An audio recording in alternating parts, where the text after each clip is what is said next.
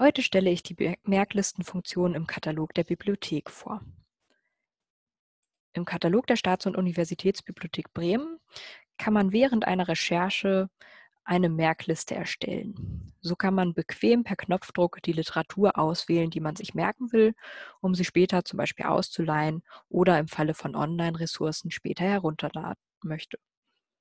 In der Merkliste werden alle bibliografischen Angaben und die Signaturen, also die Standorte der Bücher in der Bibliothek, angezeigt. Die Merkliste kann verschickt werden, sodass man die Liste beispielsweise einfach auf dem Smartphone nutzen oder mit Kommilitonen teilen kann, die vielleicht am selben Thema arbeiten.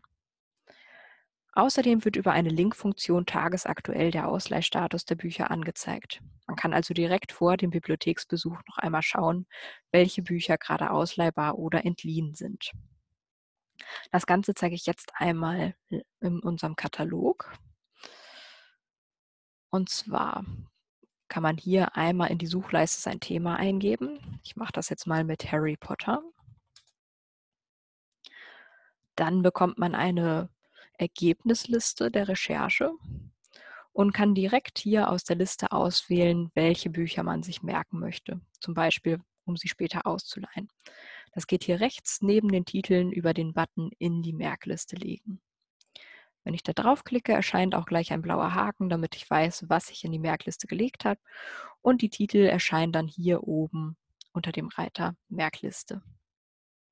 Das geht sowohl mit gedruckten als auch mit elektronischen Medien. Ich lege jetzt einfach mal ein paar Titel in die Merkliste.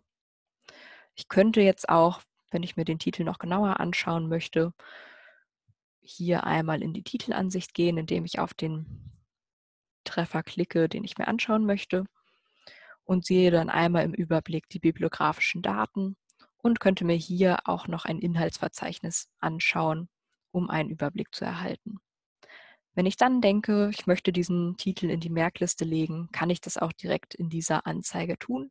Und zwar hier rechts neben dem Cover von dem Buch wieder mit dem Button in die Merkliste legen.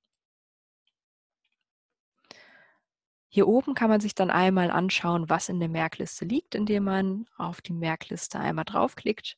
Dann bekommt man eine Übersicht mit den Titeln, die man dort gespeichert hat, könnte sie jetzt auch, wenn man sie nicht mehr braucht, hier über diesen Papierkorb-Button wieder löschen. Hier unten ist dann die Funktion Link kopieren. Damit könnte man die Liste verschicken, entweder per E-Mail oder per WhatsApp. Das ist alles möglich, damit man sich die Liste auch auf anderen Geräten anzeigen lassen kann. Die Funktion mit der Merkliste ist gerade im Moment besonders praktisch, um seinen Bibliotheksbesuch einmal vorzubereiten. Im Moment dürfen wir ja nur höchstens eine Stunde in die Bibliothek und dann ist es praktisch, wenn man einmal genau weiß, was man noch ausleihen und vielleicht in der Bibliothek noch herunterladen muss.